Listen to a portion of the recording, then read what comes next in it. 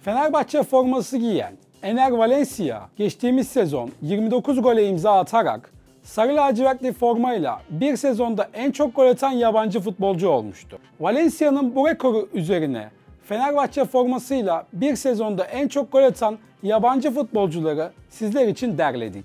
4 numara Elvir Bolic. 1995 yılında Fenerbahçe'ye transfer olan Elvir Bolic 5 yıl boyunca burada forma giydi. İlk sezonunda 22 gol kaydeden Boşnak futbolcu, ikinci sezonunda ise 24 gole imza attı.